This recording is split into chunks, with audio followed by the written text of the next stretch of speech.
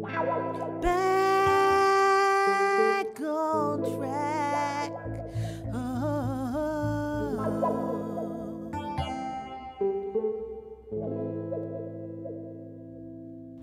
So, Zelo Groove, you're back.